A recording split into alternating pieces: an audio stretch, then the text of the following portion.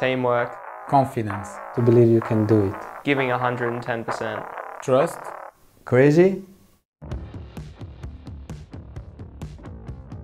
It's a team sport at the highest level. If you get a good result as a team, it's the same as winning yourself. Uh, lead out is like uh, teamwork, so for sure it's always uh, important to help uh, your leader. How we can racing smarter, how we can save more energy. The entire race, you manage your diabetes to be sure it's gonna be okay at the end.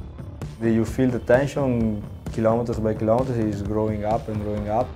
Of course, the last uh, part of the race is the most important to be near the front. I think everyone trusts each other. It's like a poetic like chaos. Every opportunity can disappear, so a lot can happen. We don't have to be afraid, because if we are afraid, we cannot be there. The crash can happen in one second. If you don't try, never win. Start seeing like the 100 meter countdowns, 500, 400, 300.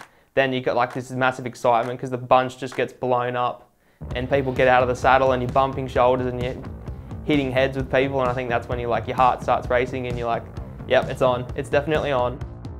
Sometimes you need to take the risk. If there is no way I can make it, you try to find another way. I love like emptying yourself. You swing off and then you see them like all kind of go for it and you think, yes, I've like done my job. It's something that is automatic. Uh, It's uh, the adrenaline you have. Yeah, you, you don't think. Maybe it's better don't think. You need to have some luck too. Teamwork on bike racing is the key.